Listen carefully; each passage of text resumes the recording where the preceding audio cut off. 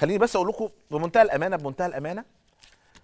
آه، بغض النظر عن الموقف الحالي للمدير الفني آه، ريكاردو سواريش مع الفريق وإن في مجموعة من اللاعبين مش في حالتهم سواء بقى من تعب سواء من آه، أمور ممكن تكون فنية بالنسبة لهم هم بعيد عن مستواهم لكن في الآخر حتى الآن داخل الملعب جماهير النادي الأهلي وكل مشاهدي ومحللي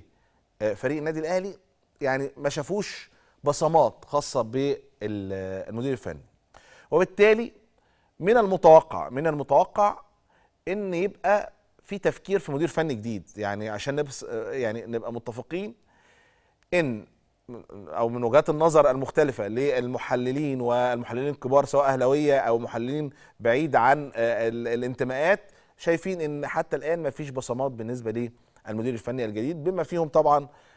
يعني بعض أعضاء شركة الكره وبعض أعضاء آه، لجنة الكره وداخل النادي الأهلي بشكل عام شايفين إن الراجل النادي الأهلي أكبر منه وبالتالي ممكن يبقى فيه تغييرة في الموسم القادم أو بداية ال- الموسم الجديد بمدير فني قوي مدير فني ليه اسمه يمكن في بعض الأسماء آه، يعني بترشح أو مرشحة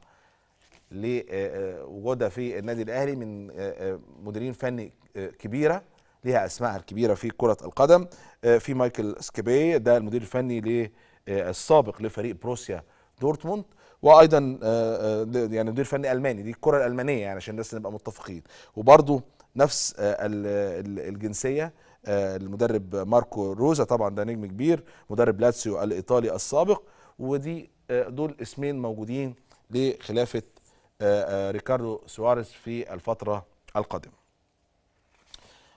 يعني عشان بس برضو أنا بقول ما يحدث أو بنتكلم فيما يحدث من كلام من محللين ورؤيه فنية لمحللين ورؤية كمان فنية لجمهور النادي الأهلي يعني شخصيا. إن الأمور بالنسبة للاعب أو المدير الفني حتى الآن ما شفناش آه، شكل فني للاعبين أو جمل ممكن تخلي ال- ال- ال- ال- الجماهير مطمئنة إن حتى لو اللعيبة دي في حالتها إن الأمور ممكن تختلف مع النادي الأهلي.